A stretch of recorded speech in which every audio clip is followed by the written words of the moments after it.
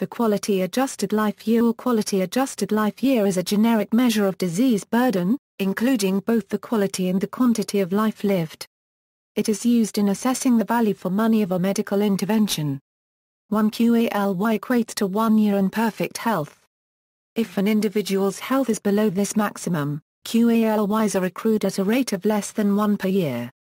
To be dead is associated with zero QALYs, and in some circumstances it is possible to accrue negative QALYs to reflect health states deemed worse than dead. Use The QALY is often used in cost-utility analysis to calculate the ratio of cost to QALY saved for a particular healthcare intervention. This is then used to allocate healthcare resources with an intervention with a lower cost to QALY saved ratio being preferred over an intervention with a higher ratio. In the United Kingdom, the National Institute for Health and Care Excellence, which advises on the use of health technologies within the National Health Service, has since at least 2013 used a pound per QALY to evaluate their utility. Meaning, the concept of the QALY is credited to work by Klarman and later Fanshel and Bush and Torrance who suggested the idea of length of life adjusted by indices of functionality or health. It was officially named the QALY in print in an article by Zeckhauser and Shepard. It was later promoted through medical technology assessment conducted by the U.S. Congress Office of Technology Assessment. Then, in 1980, Pliskin proposed a justification of the construction of the QALY indicator using the multi-attribute utility theory, if a set of conditions pertaining to agent preferences on life years and quality of life are verified, then it is possible to express the Agenta Euro unregistered trademark as preferences about couples, by an interval utility function.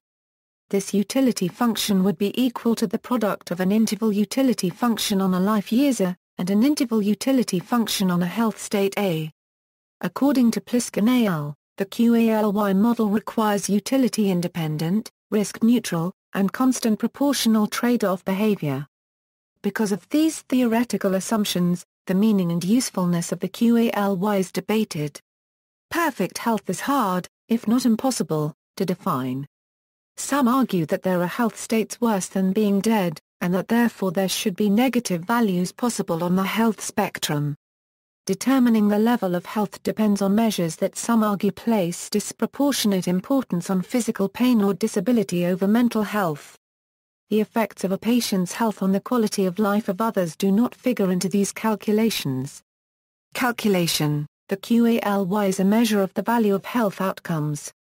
Since health is a function of length of life and quality of life, the QALY was developed as an attempt to combine the value of these attributes into a single index number.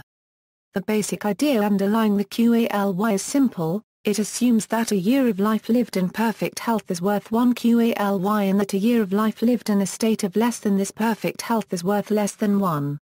In order to determine the exact QALY value, it is sufficient to multiply the utility value associated with a given state of health by the years lived in that state.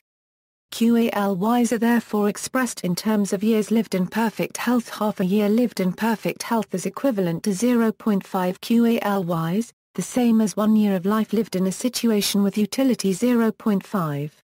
QALYs can then be incorporated with medical costs to arrive at a final common denominator of cost QALY. This parameter can be used to develop a cost-effectiveness analysis of any treatment. Weighting the weight values between 0 and 1 are usually determined by methods such as those proposed in the Journal of Health Economics. Time trade-off Respondents are asked to choose between remaining in a state of ill health for a period of time, or being restored to perfect health but having a shorter life expectancy. Standard gamble Respondents are asked to choose between remaining in a state of ill health for a period of time, or choosing a medical intervention which has a chance of either restoring them to perfect health, or killing them. Visual analog scale, respondents are asked to rate a state of ill health on a scale from 0 to 100, with 0 representing being dead and 100 representing perfect health. This method has the advantage of being the easiest to ask, but is the most subjective. Another way of determining the weight associated with a particular health state is to use standard descriptive systems such as the EuroQOL Group EQ5D questionnaire, which categorizes health states according to the following dimensions, mobility, self-care, usual activities, pain discomfort and anxiety depression. However, the weight assigned to a particular condition can vary greatly, depending on the population being surveyed.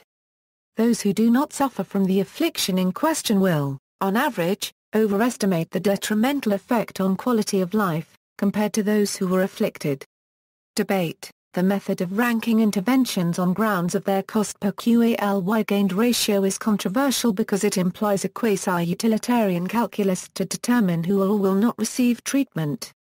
However, its supporters argue that since healthcare resources are inevitably limited, this method enables them to be allocated in the way that is approximately optimal for society, including most patients. Another concern is that it does not take into account equity issues such as the overall distribution of health states, particularly since younger, healthier cohorts have many times more QALYs than older or sicker individuals.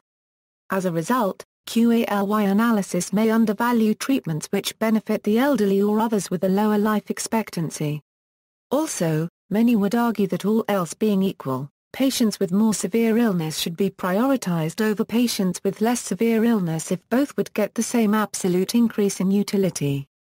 Recently the results of a European Commission project, its outcome recommended to not use QALYs in health decision-making after surveying 1361 subjects in the UK, Belgium, France and Italy and establishing that the four theoretical assumptions underlying QALYs are invalid, explaining why divergent QALY results can be generated using the same dataset.